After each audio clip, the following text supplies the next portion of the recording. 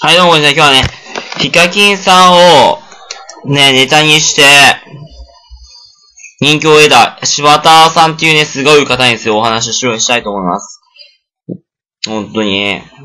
まあ、一つ一つのネタが柴田さんは、すごいしっかりしてるんだよね。例えば、キッズっていうのは、リアクションが入ってない、動画が多いんだけど、柴田さんっていうのは、ねやっぱ、一つ一つのところにしっかりしたリアクションを入れてくる。要所に。そのリアクションが面白いし、あと、ヒカキンとかっていうのは無難のとこしか行かないんだけど、柴田さんはやっぱりね、ある程度の、な、なんか危険を犯してまでちょっと再生回数を稼ごうとするとこあるんだよね。なんていうか、タブーに触れるってこと。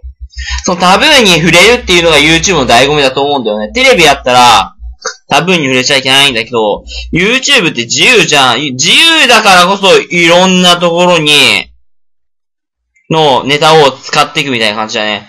あんまり人を貶めることを言っちゃいけないからテレビじゃ。だけど YouTube っていうのはいろんな発言が自由なわけで、そう。様々なね、ところに注目して、行くべきなんだよ。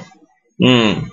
例えば、ヒカキンが気に入らなかったらヒカキンは気に入らねえって言ってみたり、ヒカキンの本がクソやったこの本はクソやってね、もう言いたいことをどんどん言うのが、YouTube の世界。だから、動画サイトって面白いんだよね、本当に。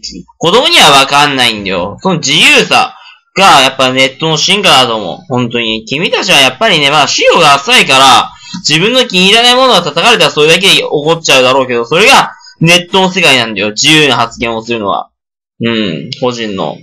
そんな、な、な、い、なんか自分の気に入らない、気に入らないことを言われて嫌だったら、ネットは見なきゃいい。テレビだけ見てろ。な。テレビとネットは違うんだよ、いろいろと。うん。テレビやったら、もう自分の嫌なやつ出てこないでしょただそれを見て安心しとけばいいんだよ。ネットっていうのは嫌なやつでも出てくるし、好きなやつもいる。その両方を受け入れて見るのがインターネットっていう世界なんだよ。分かってか